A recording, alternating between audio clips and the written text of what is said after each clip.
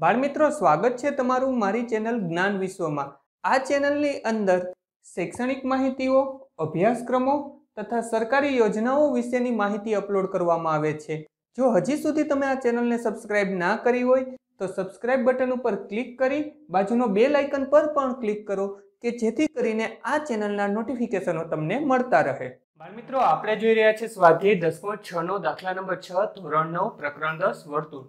Video ચાલુ કરતા પહેલા જો બોર્ડ પર અક્ષરો તમે ના વાંચી શકતા હોય તો ઓપ્શનના ત્રણ ડોટ્સને ક્લિક કરી નીચે જે ક્વોલિટીનો ઓપ્શન ખુલે છે, એને એક હજાર એસી પસંદ કરો અને મોબાઈલની બ્રાઇટનેસને થોડી વધારી દો. હવે આપણને એવું કીધું છે કે એબીસીડી સમાંતર બાજુ ચતુષ્કોણ છે. તો આપણને એક ચતુષ્કોણ કીધો છે, જેનું નામ છે એબીસીડી પણ કંઈક શરત એ આપી છે. એ એવી છે કે એ બી અને સી માંથી પસાર થતું વર્તુળ, એટલે કે વર્તુળના ત્રણ, ચતુષ્કોણના ત્રણ બિંદુઓ જ વર્તુળને ટચ થાય છે. ચોથું બિંદુ નથી થતું. સીડી અથવા તો લંબાવેલ સીડી ને ઈ માં છેદે તો સાબિત કરો કે એ ઈ બરાબર એડી તો આપણી પાસે સમાંતર બાજુ ચતુષ્કોણ આપણે પહેલા દોરી લઈએ. આપણો વર્તુળમાં આપણે ધ્યાન શું રાખવાનું છે? કે એના ત્રણ બિંદુઓ જ આપણા વર્તુળને ટચ થતા હોય. ચોથું બિંદુ વર્તુળને ટચ થતું હોવું જોઈએ નહીં. તો આપણે એક સમાંતર બાજુ ચતુષ્કોણ દોરી લઈએ. અને એના જે એ, બી અને સી બિંદુ છે એ આપણે વર્તુળ ઉપર દોરશું અને જે ડી બિંદુ છે એને વર્તુળની બહાર દોરશું. તો મેં એક સમાંતર બાજુ ચતુષ્કોણ ડ્રો કરી દીધો. જો એનો, એના ચાર બિંદુઓ છે થોડો વ્યવસ્થિત ડ્રો કરી લઈએ આપણે.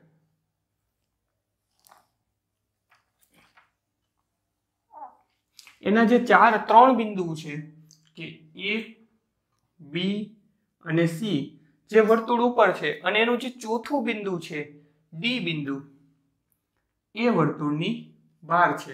અને વર્તુળને જે ટચ થાય છે એ બિંદુનું નામ છે ઈ હું એ ને પણ જોડી દઉં. આપણે એ ને જોડી દીધો.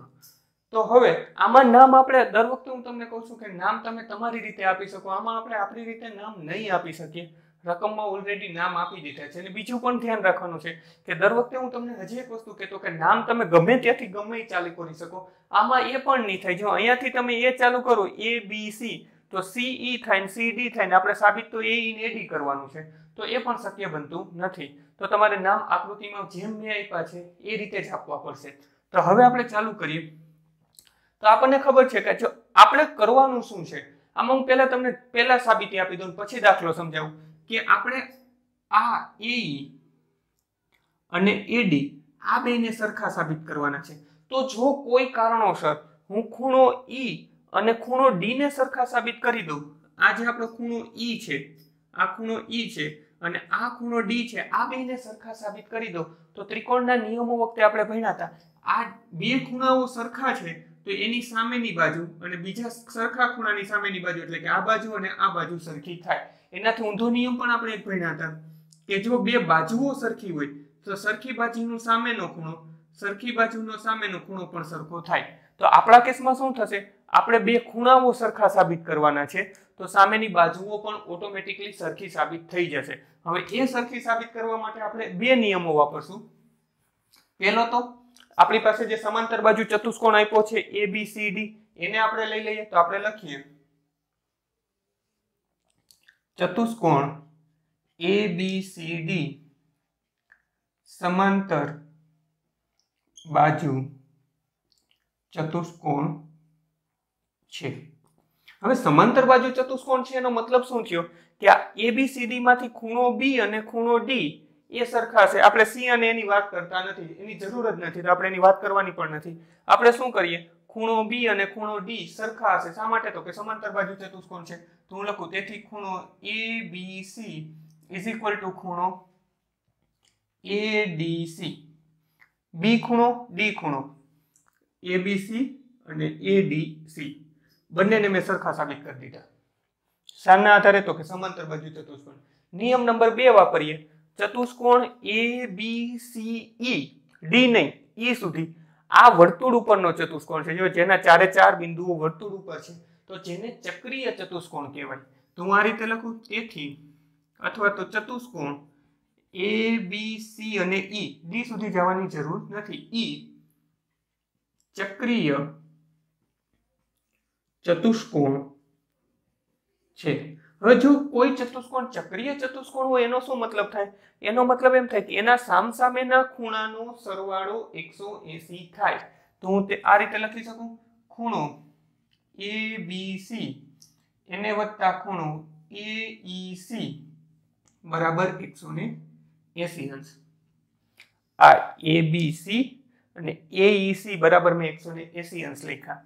પરંતુ આ એબીસી કોના જેવો છે? તો કે એડીસી જેવો છે? આ બી ખૂણો અને ડી ખૂણો તો સરખા છે. તો હું આ એબીસી ની જગ્યાએ એડીસી મૂકી દઉં, તો હું લખું તેથી ખૂણો એડીસી એને વત્તા ખૂણો એઈસી બરાબર એકસો ને એસી અંશ આને કહી ગયો સમીકરણ નંબર એક. સમીકરણ એક આવ્યું હવે હું તમને કહું કે આ જે આ સાઈડનો ખૂણો ને આ સાઈડના ખૂણાની વાત કરીએ, તો આપણે લખીએ. તેથી ખૂણો એ ઈ સી એ ઈ સી એટલે કે આ ખૂણો. એને વત્તા ખૂણો એ ઈ ડી એ ઈ ડી બરાબર એકસો ને એસી.